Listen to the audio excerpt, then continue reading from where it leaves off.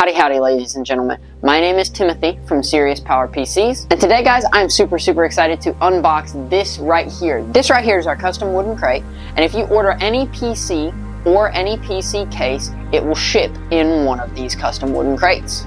We equip this case with protective wooden rims around the outside and a large wooden panel on the front that allows for easy opening. Now let's open it up.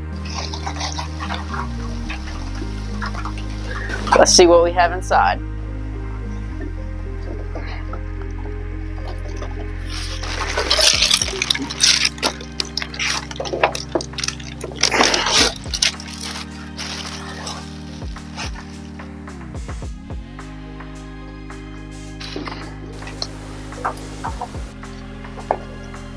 So everything's packed tightly and securely, which is very, very nice. No components loose or or knocking into stuff, damaging the glass of the case. This front panel can be removed as well. It has the exact same screws as the side panel. Got all the case wires up here in the top, which is awesome.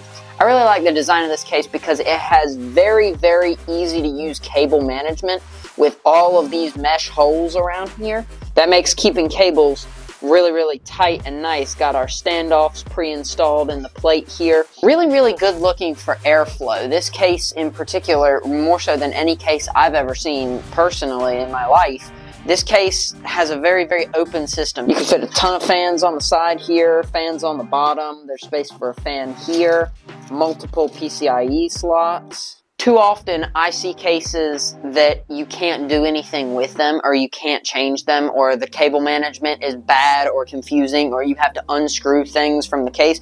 With these, it's literally just a rubber flap that you can push back and a single cable can fit through. That is really, really nice right there. And right here, of course, you know, I've got some extra standoffs for if the motherboard requires more standoffs, if it's bigger or smaller motherboard than the pre-cut standoffs that come on this. Also some screws, I'm guessing motherboard screws. I also see a couple bigger screws here, so those are probably power supply and some extra fan screws just in case your fans don't come with them. Now on the top here we got a power button, an LED reset, one USB 3.0, two USB 2.0s, a headphone slot and a microphone slot. And then on the back back here, we have a slot for the power supply, standard size, and seven removable PCI slots in the back here as well. I think it's time to have a satisfying front panel peel.